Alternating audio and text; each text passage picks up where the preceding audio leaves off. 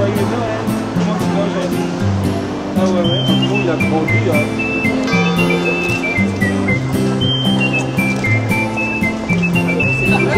Ça va Ouais, ça va Ouais, ça va pas. Ah, toujours les valeurs sûres. Il s'appelait à la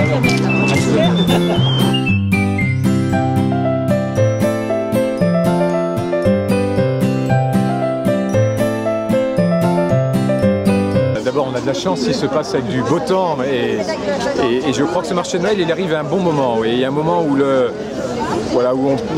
il y a besoin de, gaieté, de joie, de bonne humeur, euh, de manège, de couleurs, de sourire et, dans cette morosité ambiante, le marché de Noël est un, bon marqueur pour redonner un peu de, bonne humeur à tout le monde. Donc euh, c'est un marché de Noël qui s'annonce sous de bons auspices.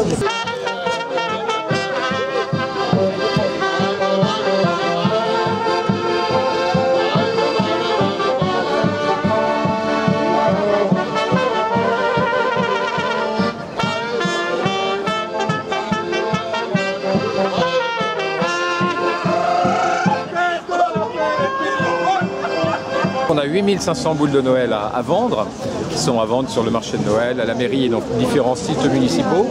Et donc on a trois semaines pour, euh, de ces 8500 euh, boules de Noël, faire le, maximum de dons à, la Croix-Rouge pour les Philippines. C'est une bonne manière, euh, dans cette ambiance de fête, de fin d'année, de Noël, d'avoir une pensée pour les Philippines et de faire participer tout le monde en ayant sur tous les sapins de la ville, chez chacun, une, un petit, une petite boule de Noël à la mémoire de ceux qui, souffrent dans ce dans aux Philippines.